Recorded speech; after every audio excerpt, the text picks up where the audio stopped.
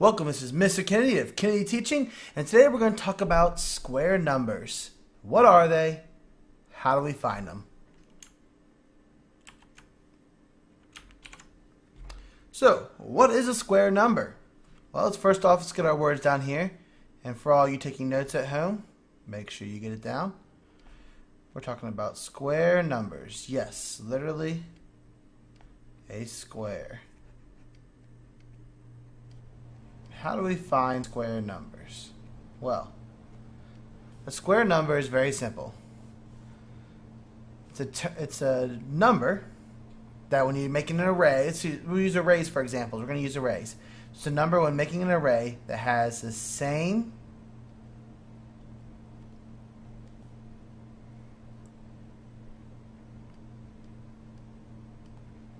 number in the rows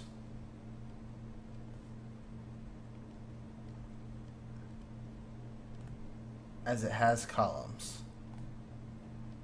So the rows and columns are the same. And for an example, we're going to pick our nifty counters right here. I'm going to make an array that has three columns and three rows.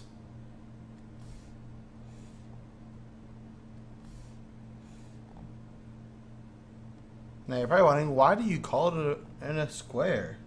Why is it called that? Well, it's very simple. When I make it, you'll easily see.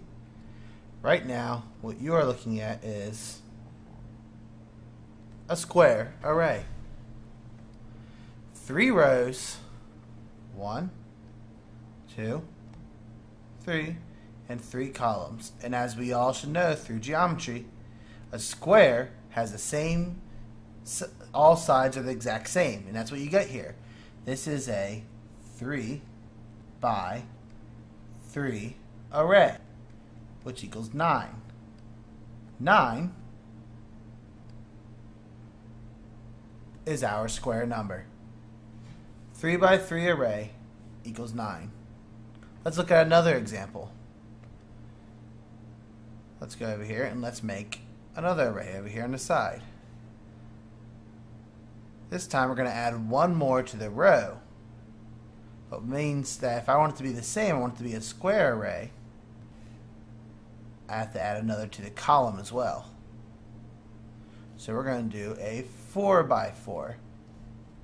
And those you at home watching it should be thinking 4 by 4. Remember the by, oftentimes in math will mean multiply.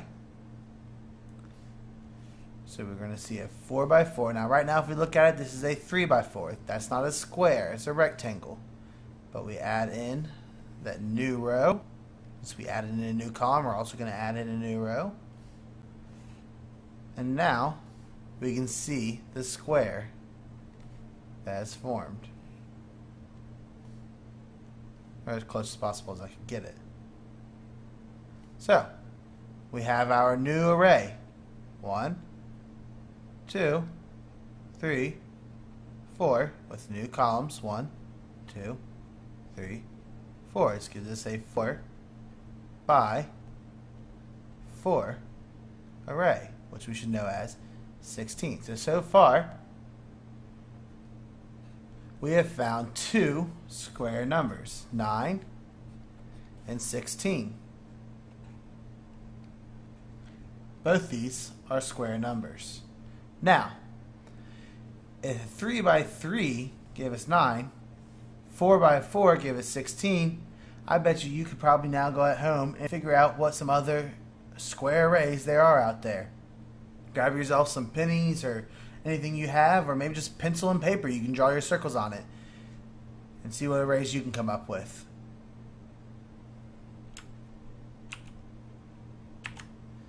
That does it for square numbers. It's a very simple concept to get to understand. We want arrays that have the same number of rows as they do columns. And that's our square numbers.